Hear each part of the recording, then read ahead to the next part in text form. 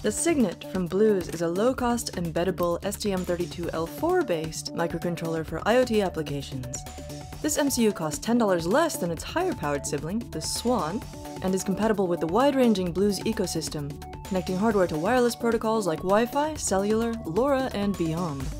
Like the Swan, it's compatible with Adafruit Feather expansions, supports C++ and Arduino programming, and features the same JST battery connector and SparkFun Qwiic or Adafruit STEMMA QT jack, augmenting that STM32L4 core.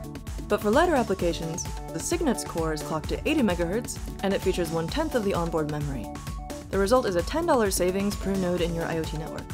Both boards are also compatible with the STLINK-V3MINIE, a standalone debugging and programming probe, and the new Mojo energy usage meter from Blues. Want to learn more? Check out the info in the description. Hack on.